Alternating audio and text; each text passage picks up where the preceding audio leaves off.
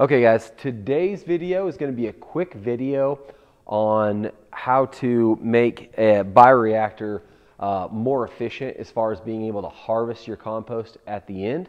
And then we're also going to talk about little adjustments we've made uh, to keep them from going anaerobic. Uh, right now it's January 20, 2022 uh, and we started this journey hearing about the Johnson Su bioreactors in February of 2020 and then we made our first one later on that February. And so if you've been watching our YouTube channel, um, this is the journey that we've gone on, um, and I kind of want to give a, a updates on some of the stuff that we've learned. So these are the first uh, bioreactors that we've we've used. Um, this one right here uh, has been harvested, and we made a new one with it, and um, this is the one of the last ones we made in 2020, and it's uh, we only were able we only harvested a little bit of compost out of that one. But anyway, so to make it to where your bioreactor is going to be more efficient, um, we had done that double stack method, and what we decided to do was rather than adding that extra half layer on there, was just cut these bioreactors right here, or actually we're cutting them right here and right here and cutting out this middle part and then stacking them together to where you can put um, zip ties around it. So I'll show you on this other one.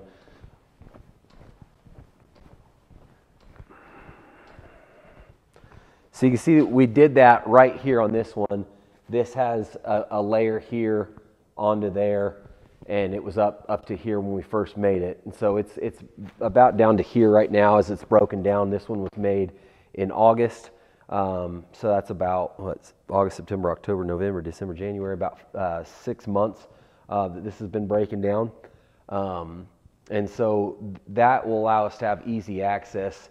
Um, if you want to come closer, as they break down and we harvest stuff out, it's much easier to get it out of out of this situation than if it was clear up here and you're having to bend over and get the the compost out of it. So that's the first adjustment um, that I wanted to share with you guys that we made to where it's it's just so much easier to access your compost when they're broken down like this, as opposed to that right there.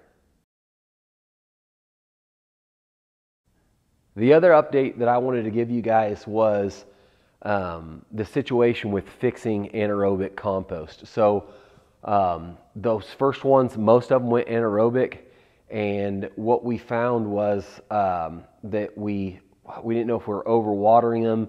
There was also the thought that if, since we were using the feed truck, that we weren't getting enough of the uh, sand and dirt particles out of the compost before we, we used it. And so we tried a bunch of different stuff. We, we made it a new batch um, that we didn't run through the, the compost, or we didn't run through the feed truck. And that's this one right here.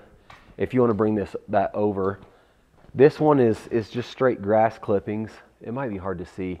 We'll get a light on this. This one, this one's all just straight glass, grass clippings. And this uh, went anaerobic as well. And um, it stunk, but now um, we didn't mess with it. We didn't turn it. Didn't do anything. But now, as it's broken down, it, it, it smells really awesome. It's really good compost. So I'm glad we didn't mess with it, so we could kind of learn. Um, I didn't like the fact that it dried out along the edges. We'd only have basically the center of it as uh, as good compost. Um, but anyway, I we didn't run this through the feed truck method. We took it through the proper bath, but and it still went anaerobic. So I began to wonder what my actual issue was. And I think what our problem was was this weed barrier mat on the bottom. I don't know if it's different than the one that, that David Johnson's using, but I don't think it's allowing enough air to come up through the bottom. Even with the pine cones, we laid put a layer of pine cones on the bottom of these to be able to cause more air to come up through them for them to breathe. And I, I just don't think that that's enough. And so what we did with this newest one, where we did the three layers back here, is we lined that pallet with the bottom of that pallet with lath. It's a th thin wood, and then we took a, a five inch uh, wood drill bit and we drilled holes every inch on the bottom there, so it was just perforated with uh, with with holes, and then we did not put weed barrier mat down there. And we filled up this bioreactor the way we had been with the, the, the pipes and everything.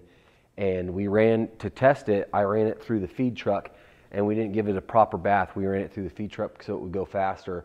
And this, this pile has not turned anaerobic and it's, it's been pretty good compost. I, I wouldn't say it's as good a quality as the grass one. The grass one's broke down really well, even though in the middle of it, it went it went anaerobic. And what I mean by good compost, there's you know there's not wood chips or anything like most of that is going to break down into really awesome awesome compost. So I think if you're going to do this method and you're going to go through the, with the with the um, the feed truck, you want to have more, uh, you know, have enough wood chips in there that the wood chips are going to allow it to breathe.